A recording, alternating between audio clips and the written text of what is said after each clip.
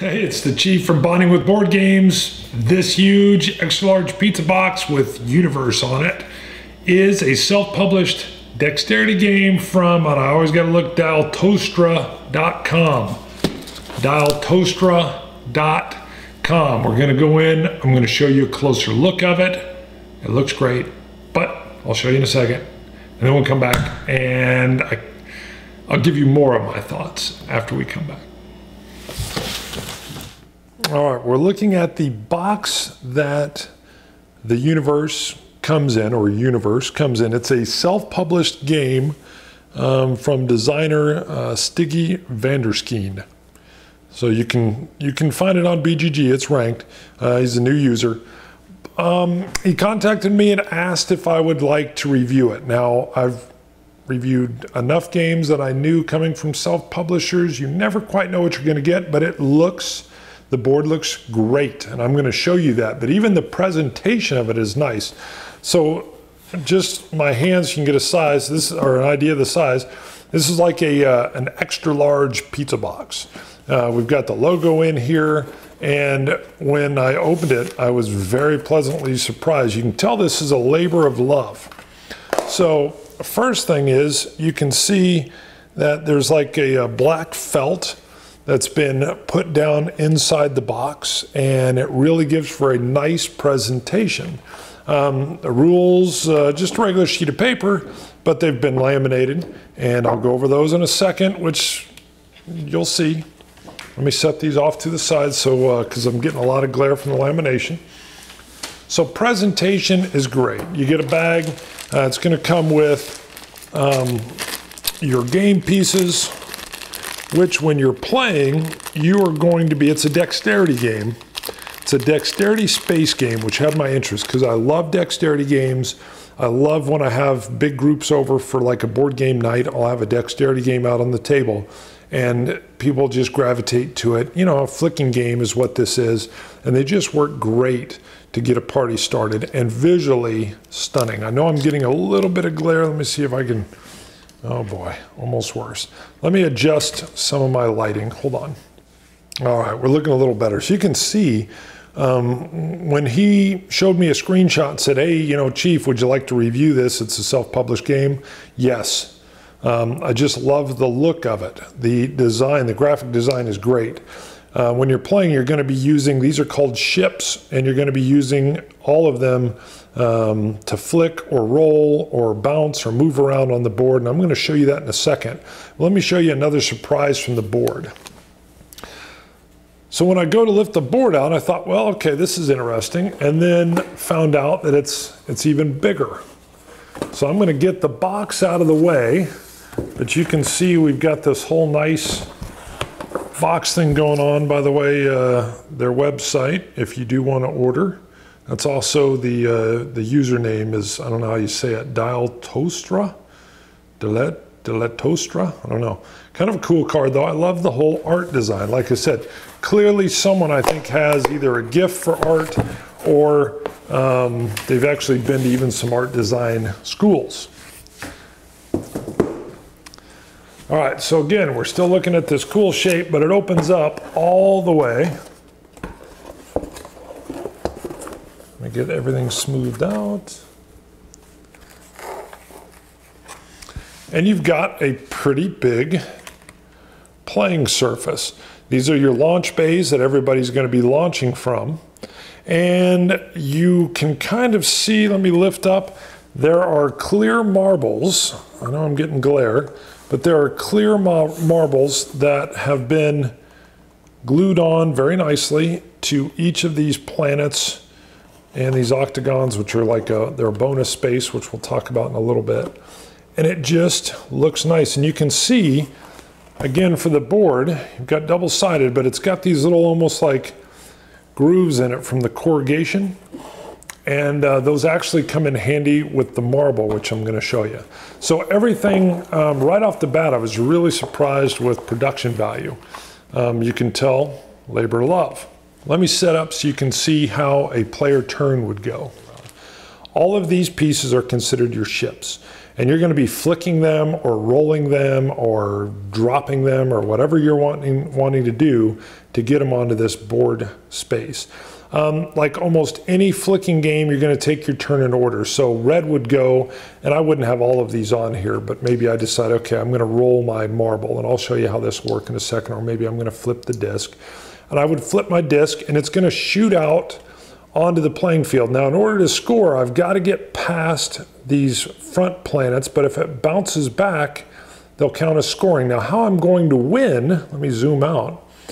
You win you play a set number of rounds, they suggest maybe 10. And you're going to score each round. So everybody's going to flick their three ships. I'll do one, red will do one, or blue will do one, green one, blue run, back to me, I'll do my next one. And just like tumbling dice or crokinole or anything else, you can be defensive. So I could flick something to knock somebody out of a space, try to move their marble, whatever. But your goal is at the end of, let's just say 10 rounds, it'll be the person with the most points wins. And the way you get points are when you flick. So I come in and I flick this out and it shoots across the board and it lands way out over here. I'm going to zoom in so you can see it. And oddly enough, this will be one of the problems. You've got to have it at least halfway on a planet. That actually looks like it's splitting the difference almost perfectly. Let's say it's more than halfway on. The problem is that's a minus 15. So that is going to actually minus my score. If I would have been over here, it would have been plus 15. And I'm going to just slowly pan around some of these other little areas. Again, the artwork is um, really phenomenal. I mean, they're gorgeous. So you can see you got plus five You've got minus 15, plus 5, plus 25. This little shape here, what is it, octagon? It's actually like, uh, well, it's, it's a bonus space. If you get your piece, whatever piece it is in there, you're going to get a bonus round, and I'm going to come back to that in a second. But let me zoom out just a touch, and I'm going to show you the artwork on these planets. And you can see these are just clear marbles that have been attached, but they give I don't know, like a crystal ball glowing factor that's really nice. And I really, really, no, it's a really, so I'll say really, really, really like the look of these planets. Oh, hey, and here's our black hole. Uh, you do not want to end with one of your pieces in the black hole. If it's in the black hole, you're not going to have it for the next round of flicking. So I would only have my disc and my marble in this case. But I wanted to show you a very good look at all these planets. And you can get that visual feel and you can see the marbles on them. Now let me get everything reset here. And I'm going to talk about as we come in and look at a flicking space, I'm going to talk a little bit about some of the problem for me with this design in terms of a dexterity game. There are so many marbles on here. Every planet, every square has a marble that there, there's just, it's hard to actually maneuver. It's hard to be defensive and go knock somebody out. There's just not enough room to maneuver on the board uh, for gameplay. So when I flick in, I'm hitting stuff and I'm, and I'm just, I have a difficult time maneuvering on the board, which makes it hard to be defensive. Second, when the disc is very controllable, all right, like flicking any disc, and it's a wooden disc that's been painted, the marble is chaotic and you can't really control it at all. If I roll it in, it just kind of careens around, and I've seen it even just catch a groove and kind of float around. And it just is hard and difficult to control. It's a marble. And that's problem two with the ship. Again, if there were less things bouncing off of, maybe I could work a backspin or a side spin. This black hole in the middle is not depressed, so it's not like crokinole where you got a hole in the middle where things can trap or stick. And then we're going to come to the last deal. Now again, let's say I got my marble on this space here. It's a plus 15. So if it stays there, I'm going to get 15 points. If it was over here, it'd be minus 15. let's say I launched my disk and this one's minus 20, but this one's plus 20.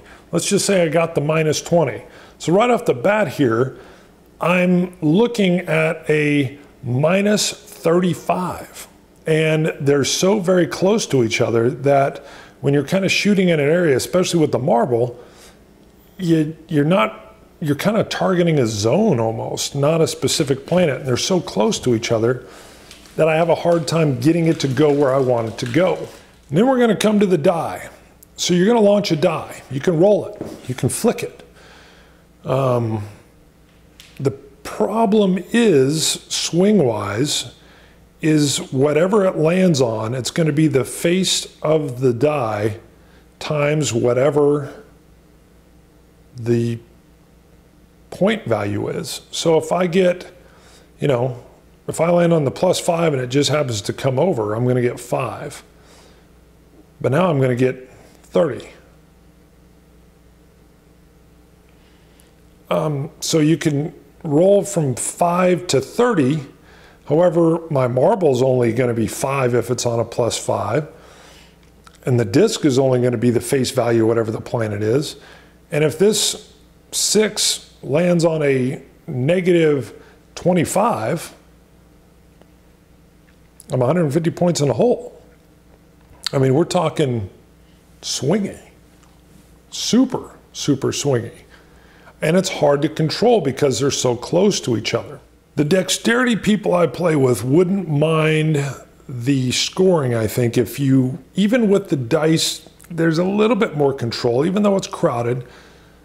But I think they would want to use multiple dice rather than a marble which rolls around or a disc that flies around. Or maybe the disc needs to have an ability where if you're shooting the disc, it can never go negative.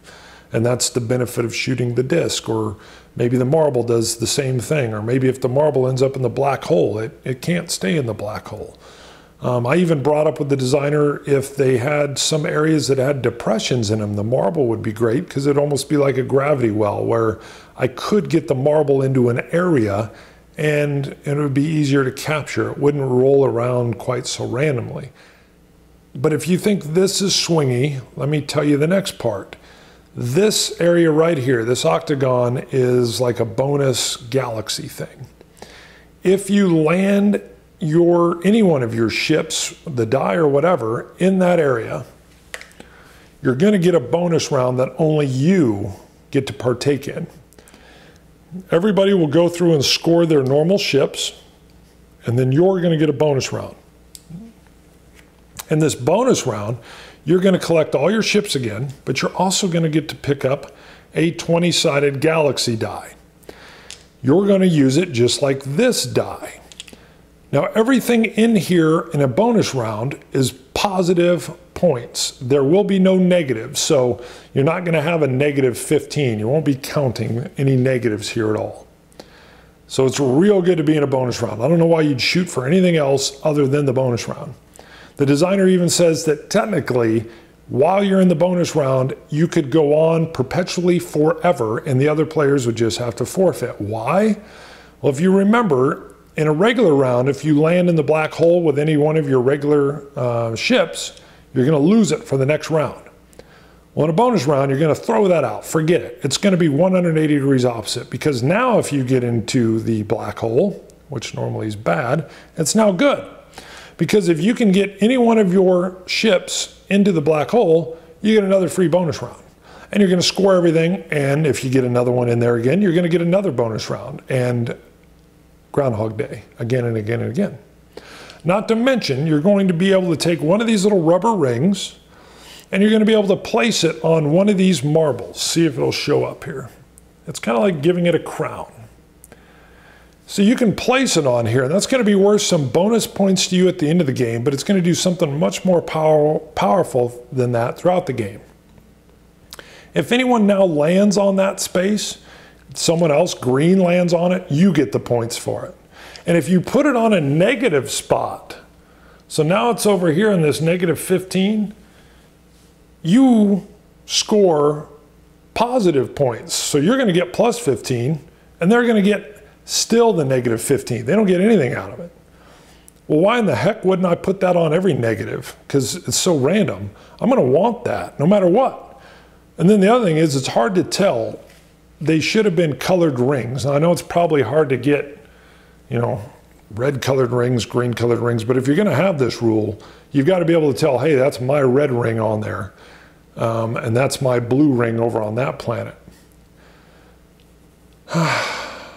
but as you can tell, this bonus round with a with a D20, it's only positive, so you can't go negative, you can't go in the hole, but the whole game becomes just getting that. And you can shoot for it right out of your home base. So you're just shooting for these pretty much. I wouldn't even mess with scoring anything else. I'm shooting for that, shooting for that. That's all we want. And it's so hard the other neighbor across from you can maybe get you out of there, but a lot of times you're shielded. And so it's hard for them to be real defensive. But ignore all this. Who cares? Because you got a negative 20, plus 20, negative 20, plus 20. This is all crapshoot in here. In here, you get to roll a d20 and everything's positive and you can mark off these other balls.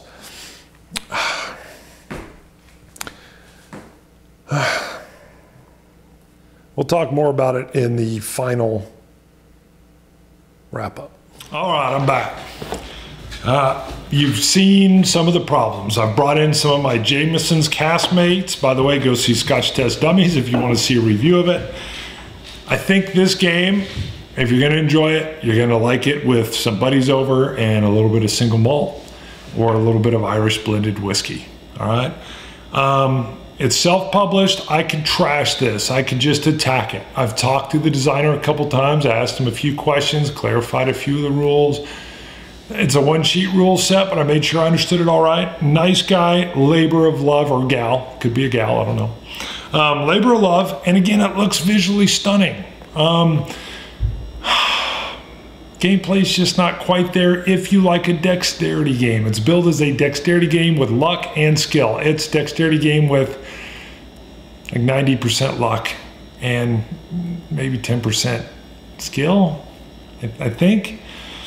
You know, for me, I already kind of mentioned it, but if you pull some of these blockers off here, I could get my dexterity going a little bit better. And it's so hard to control the marble. Um, that's why I mentioned that if it was possible to have a depressed area or something that maybe like a gravitational sink or something that would get that marble to pull in, and then I could, when I'm aiming for a region, I can kind of get the marble in there, you know, or boy, that dice is just, the dice in here is so much more powerful than the other ones. Uh, again, I believe there's a game in here somewhere. I just, the, the luck factor here is so big that uh, a dexterity game has to have some luck, but I believe the luck's got to be, you got to be able to mitigate some of the luck most of the time if you put it into practice with a dexterity game. And there's so many blockers in here. And then the bonus round is just so swingy. Um, but if you like all that and you like the presentation, give them a shot. I mean, it's 25 bucks. It's 25 bucks. I don't know how they're putting out for 25 bucks. I really don't. That's why I'm saying it's a labor of love. And if any of you guys want to go out and I don't know if they want ideas, but go to their, their page on the Geek and throw some stuff in on the forum. I gave them what I thought would be a couple ideas, but I also told them, hey, I'm not the designer. You can do whatever you want. So, um, Universe, or on BGG, I think it's the Universe. Again, visually stunning. Play wise, not so much. Chief, bonding with board games. See ya.